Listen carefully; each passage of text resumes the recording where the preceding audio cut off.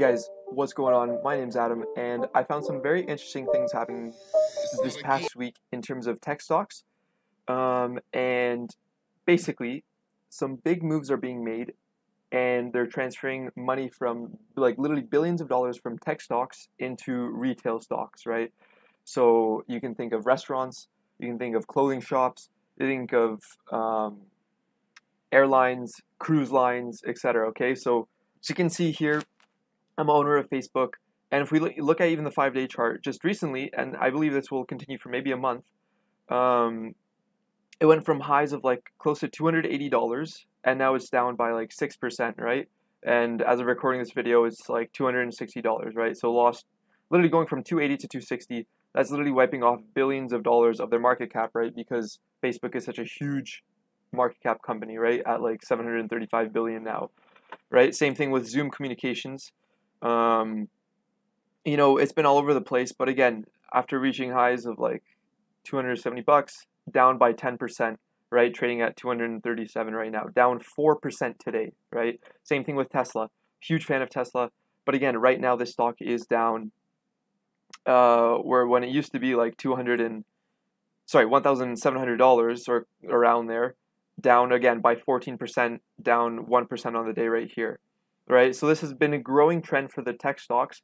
And so basically billions of dollars are being sold off of these tech stocks and going into the retail space, right? So again, we look at something like a Shopify up like $1,400, right? And down 7% now at 1,300 and this is in Canadian, my bad here. Um, down 2% today or close to 3%. Same thing with Upwork. It's a sort of startup company involved in um, matching job contractors to clients uh, for various jobs, right? Reached a peak, you know, around seventeen and a half dollars, now down close to twenty percent, down three percent on the day, right? So, again, this is a shift that's been, you know, I think going for some time. But then look at sort of the retail stocks, right? Look at the pharmacy chain.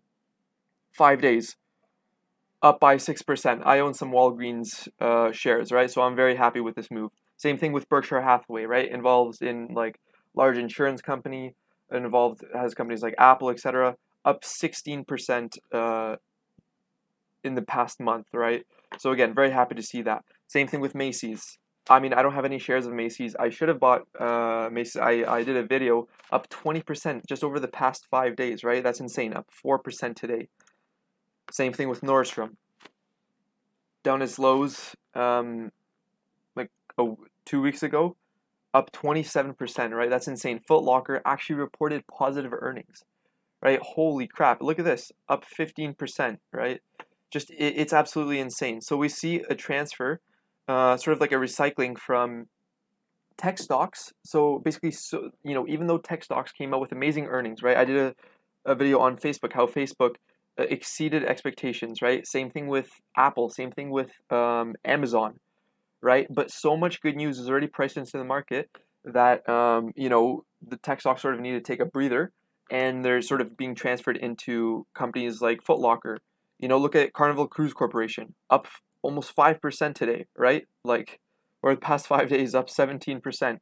Wynn Resorts, again, huge moves, up twenty four percent, right? Just in the past five days. Cheesecake Factory, again, same thing, up like 33%. You know, Air Canada, right now, up 11%, right? So, um, this is just something that I noticed with my stocks. So it's good to always, you know, hedge your portfolio, have a some tech stocks and also some um, retail stocks.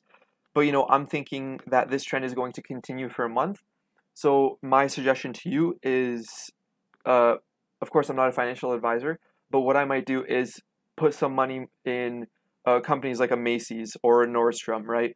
Um, rather than in tech, tech stocks right now, while also waiting for a bit for companies like Tesla um, or even Facebook, right, to go down a bit. So I would love to see, you know, Tesla go close to a thousand dollars and hopefully be able to buy up some shares, right? Um, and you know, one thing to support this is, of course, like the Nasdaq Composite, uh, which of course is tech heavy, um, slid for the second day in a row, and this was just uh, published August 10th, so yesterday. Um, is for second day in a row as the tech heavy index retreated uh, 0.4%. Right? So the energy, industrials, and material segments were strong, right? And that makes sense, of course, like more retail stocks. Um, same thing with, you know, in hotel chains, Marriott, Royal Caribbean, and Footlocker, three companies that, of course, um, were trading up in the past couple of days, right? So again, now it's it's sort of you can say that value stocks are outperforming growth stocks. Okay, so right now might be the time to sort of reassess your portfolio, um, sort of talk about you know where you should be in terms of your portfolio, and I encourage you you know if you see a good deal to of course um, put in some money in these more value, more retail stocks to benefit off of this move, right? So again, that's just my advice. That's just something I noticed. I thought it was pretty interesting. Uh, let me know what you think and have a fantastic day, guys.